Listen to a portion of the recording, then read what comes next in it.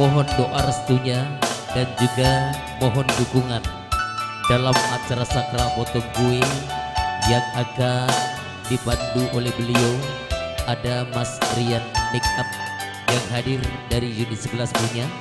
Dan juga sudah mempersiapkan segala sesuatu yang berkenaan dalam prosesi potong kue dengan keluarga besar dari Sania Music untuk kali ini ada Mas Andi ya bisa memberikan sebuah arrangement untuk melengkapi sebagai pengiring dan juga menghantarkan dalam acara sakral potong kue yaitu dengan nuansa tebang-tebang sesuai dengan suasana di sasana pelaminan.